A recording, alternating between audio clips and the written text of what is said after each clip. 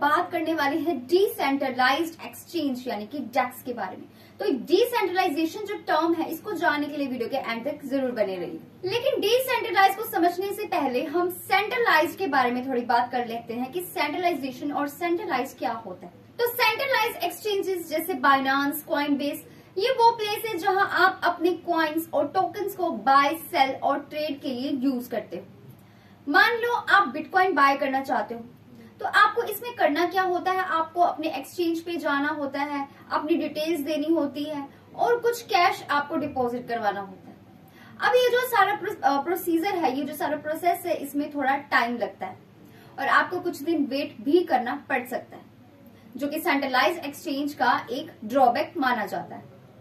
अब जब आपने बिटकॉइन परचेज कर लिए तो ये जो एक्सचेंज है तो ये आपके अकाउंट में शो होने वाली है, क्योंकि आपने जो डिपॉजिट करवाया है तो ये एक्सचेंज आपके अकाउंट में ये ट्रांजेक्शन शो होगी। और इस एक्सचेंज से आप ट्रेड कर सकते हो दूसरे टोकन्स के लिए। लेकिन इसका एक और ड्रॉबैक है कि आप इन बिटकॉइंस को होल्ड करके नहीं रख सकते हो, क्योंकि आपके बिहार पे इसको आप नहीं, बल्कि centralised authority central authority monitor करेगी, वो इसे ऑपरेट करेगी। क्योंकि गवर्नमेंट पे आपने ट्रस्ट किया है ना, क्योंकि ये सेंट्रलाइजेशन है तो आपकी जगह पे वो इसे मॉनिटर करेगी। और कोई ट्रेड जो आप करेंगे इसमें, जैसे कि बिटकॉइन को इथीरियम के लिए स्वैप करना तो ये चीज़ ब्लॉकचेन में नहीं होगी। और इवन आपकी जो प्राइवेट कीज हैं, इनको भी सेंट्रलाइज्ड एक्सचेंज ही कंट्रोल करने वाली। अब ऑन द कॉन्ट्रेरी बात करते हैं डिसेंट्रलाइज की तो डिसेंट्रलाइज एक्सचेंज यानी कि डेक्स भी कहते हैं जिसे, ये स्मार्ट कॉन्ट्रैक्ट का यूज़ करता है। और यूज़र्स को अलाउ करता है, वो अपने फंड्स की कस्टडी अपने पास रख सकते हैं।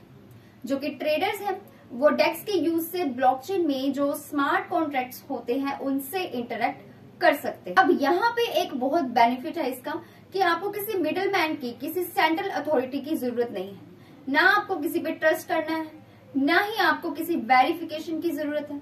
और क्योंकि ये स्मार्ट कॉन्ट्रैक्ट्स बेस्ड है तो आपकी हर ट्रांजेक्शन्स ब्लॉकचेन में स्टोर होती है।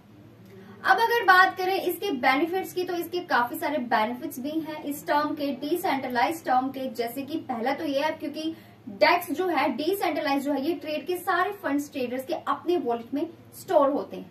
तो ये हैकिंग रिस्क को रिड्यूस कर देता है, कम कर देता है। दूसरा ये कि इसको यूज़ करने के लिए आपको किसी पर्सनल इन्फॉर्मेशन को वेरीफाई करवाने की ज़रूरत भी नहीं होती। क्योंकि ऑब्वियसली कीज आपके पास है, आप कंट्रोल कर रहे हैं तो आपको वेरिफिकेशन की नीड नहीं है। अब थर्ड ये है कि ये peer to peer market place है। तो इसमें किसी मिडिल मैन की इन्वॉल्वमेंट नहीं होती है कि कोई सेंट्रल अथॉरिटी इसे कंट्रोल नहीं करेगी, आप खुद करेंगे। सेंट्रलाइज एक्सचेंज की तरह इसकी ट्रांजेक्शन को टाइम नहीं लगता, ये स्पीडी ट्रांजेक्शन आपको प्रोवाइड करता है। और इसके अगर अनदर बेनिफिट की बात करूँ तो किसी भी पर्सनल इंफॉर्मेशन की यहाँ पे ज़रूरत नहीं होती मोस्ट पॉपुलर डेक्स का, यानी कि डिसेंट्रलाइज का यूज़ करने के लिए। एंड कोई भी इसे इजिली यूज़ कर सकता है, बस आपको इसके लिए एक स्मार्टफ़ोन और इंटरनेट कनेक्शन चाहिए होता है और आप ट्रेड कर सकते हैं।